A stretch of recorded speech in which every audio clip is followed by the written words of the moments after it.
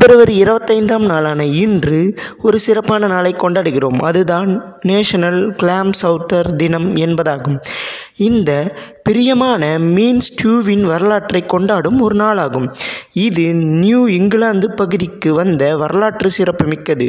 மற்றும் இறுதியில் Manhattan clam chowder Rhode Island clam chowder மற்றும் லாங் ஐலேண்ட் ஸ்லாம் சவுட்டர் போன்ற படைப்புகளை ஊக்குவிக்க உதவியது. ஆயிரத்தி எழுநூற்றி தொண்ணூற்றி ஐந்தாம் ஆண்டு சவுட்டரானது முதல் தண்ணீர் சார்ந்த மீன் சூப்பாக தயாரிக்கப்பட்டது.